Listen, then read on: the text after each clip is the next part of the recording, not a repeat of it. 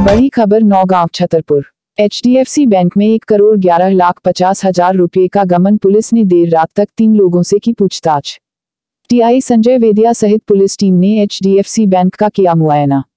भोपाल से आशु गर्ग, एचआर एवं जबलपुर से आशीष टंगरेजा सीआर पहुँचे Naugaon bank.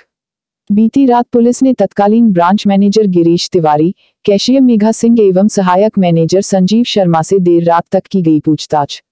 Bank manager Saurabh Khare द्वारा किया गया थाने में एक करोड़ ग्यारह लाख पचास हज़ार रुपये के गमन का आवेदन।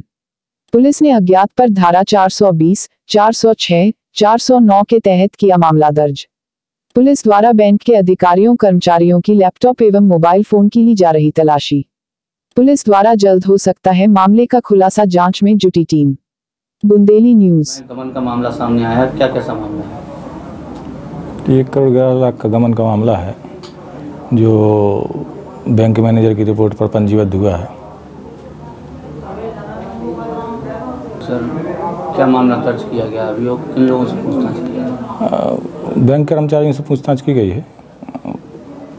फ्रॉड का मामला है 420 का मामला पंजीबद्ध हुआ है। सर क्या इस पे एफआईआर दर्ज नाम दर्ज एफआईआर हुई है क्या सर? अज्ञात व्यक्ति के विरुद्ध मामला पंजीबद्ध है। बैंक के सर कितने कर्मचारियों से सर पूछताछ चल रही है? सभी कर्मचारियों से चलेगी पूछताछ जारी रहेगी। पुलिस कहाँ तक सर पहुँच गई है सर? अभी ये विवेचना में है मामला। कब तक खुलासा होगा अभी विवेचना जारी है।